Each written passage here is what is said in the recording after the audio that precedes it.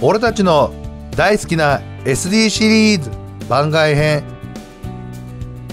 パロチェンマン北斗の拳新どうも高見です。今回はロボチェンマンからパロチェンマンに変わりましたね。えー、最初は意味が分からなかったんですけどロボチェンマンはロボット系。パロチェンマンはキャラクター系っていうことなのかな。そんな感じがします、えー、このパロチェンマン北斗の拳新にチャレンジしているのはメタロウさんです。よろしくお願いします。いやーすごいですね。色がみんな一緒。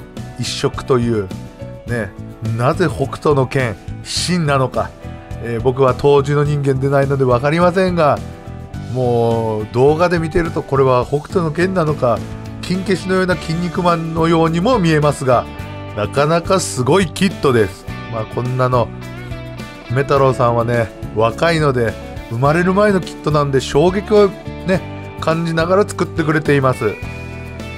僕もね現物を見るのはこれが初めてですか？いやすごいな。すごいキットですよ。これのね北斗の拳の芯の横にいるのはケーンと、えー、ザコかな？まあこのチョイスも何なんだっていう感じですけど。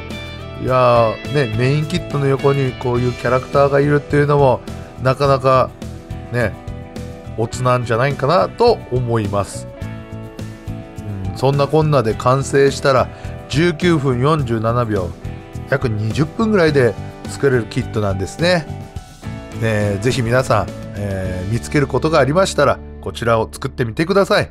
それでは最後までご視聴ありがとうございました。